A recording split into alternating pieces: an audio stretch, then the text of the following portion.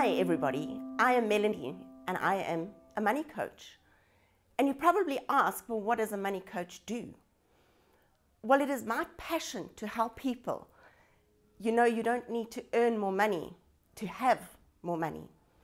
And what is it that qualifies me to do this?